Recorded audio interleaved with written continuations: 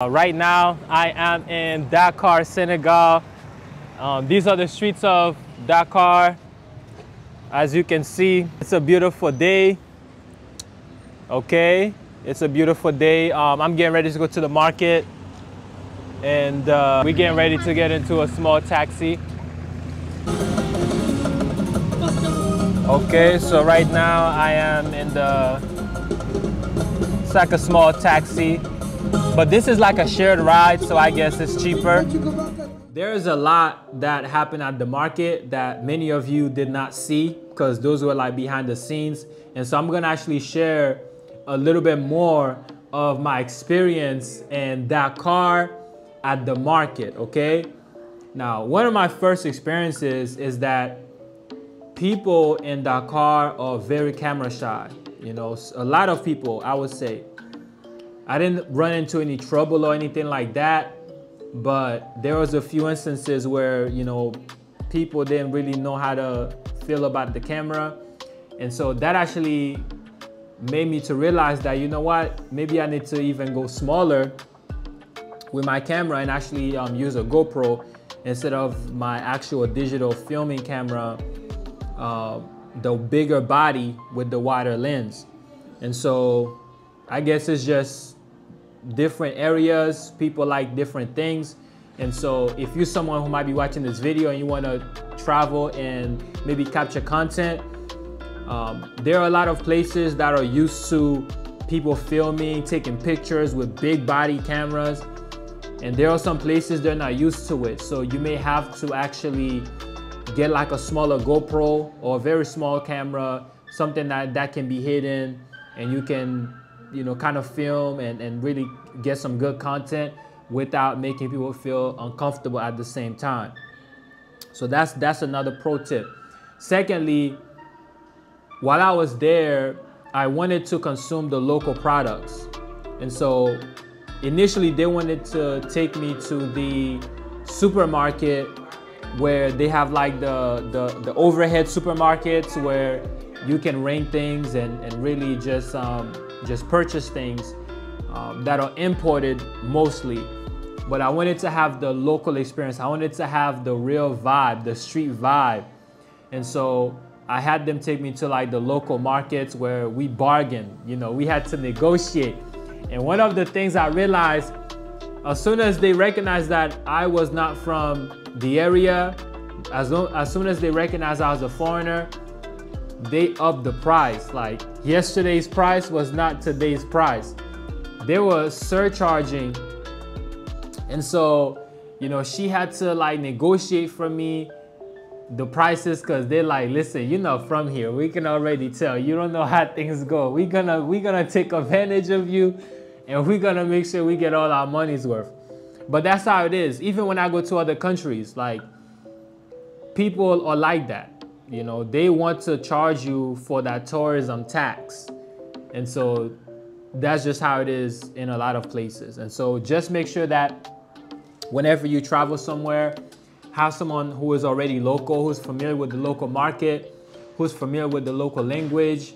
Um, and when I say language, I don't just mean the, the, the verbal language. I mean who are in tune with the local codes and cues and different things where you're not taking advantage of, especially when it comes to the prices and different things like that. Because people would, like, they will do some ridiculous price literally just because they want to make money for that day. And so, and once again, I don't necessarily fault them because, hey, that's business. You know, you, you want to make your money, make your money. So just make sure if you're traveling somewhere, you have a traveling guide, someone who's already in tune with the area who are able to guide you um, better throughout your experiences. And then another thing, um, the food was, I would say the food was very good as far as like the, the different ingredients. A lot of the foods were organically grown, locally grown um, in the Senegal area, if not Gambia or um, surrounding countries. Um, some fruits were imported from Morocco. I wasn't really into those because they had the little stickers on them.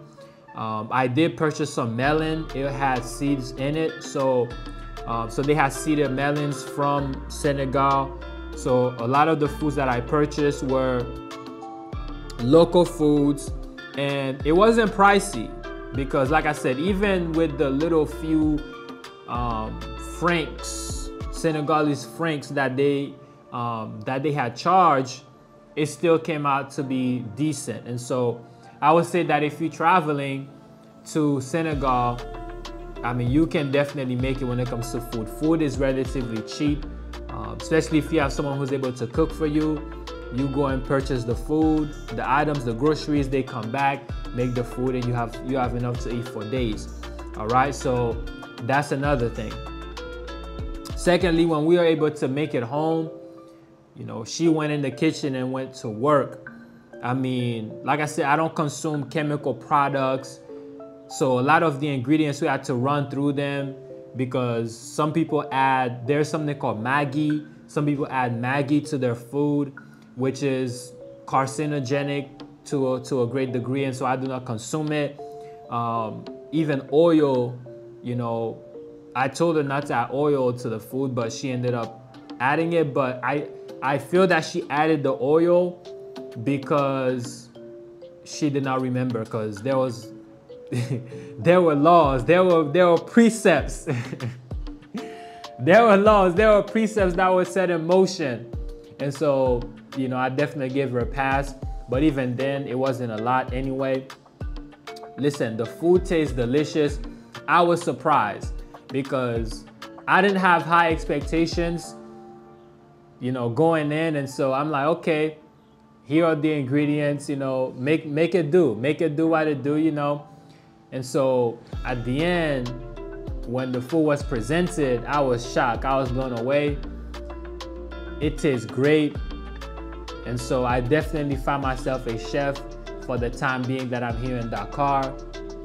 And so I am going to be eating out also. But at the same time, I know that I have a, a, a, an ace. You know, I have an ace on the roller deck that you know that we can call who's able to put it down in the kitchen and so my experience here in dakar i've been here since monday evening monday night actually i didn't sleep at all monday literally because as soon as i got here they took me out i didn't get back in till late I went to bed like around 6 a.m., 5 a.m.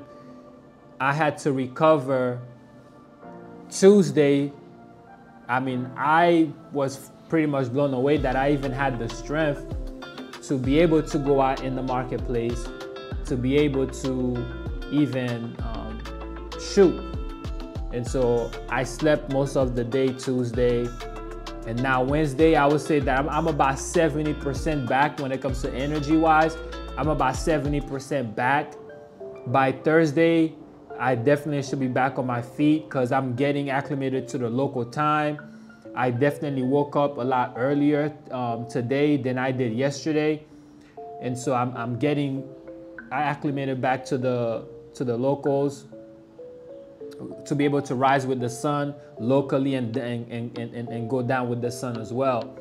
And so um, the jet lag is definitely serious. To be able to travel like 10 hours with delays and uncomfortable seats and stuff like that is definitely uh, strenuous. But yet at the same time, it's good to be alive I'm blessed to be in the land of the living, to be in the amazing, the beautiful Dakar, Senegal. So we're going to be exploring different places. We're going to be exploring the city, and I'm going to bring you guys my experience in Dakar, Senegal, as you tap in with me on this amazing journey. So don't forget to like and share and subscribe to this video, to this channel. As you can see, like, like I said, I'm still recovering. I'm still recovering. I'm still getting back into the groove. So you all, thank you guys for watching. Don't forget to like and subscribe to this channel, like the video. Until then, I'll see you next time. Peace.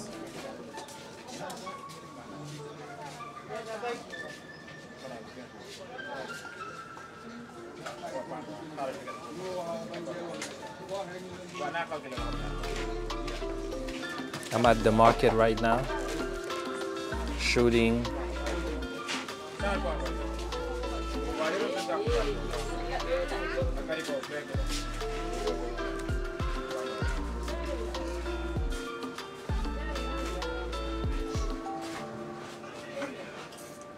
I'm at the market here in Dakar. So we're buying some food right now so we can go home and make. So people here are very camera shy, so some people, not everybody, some people are very camera shy. All right?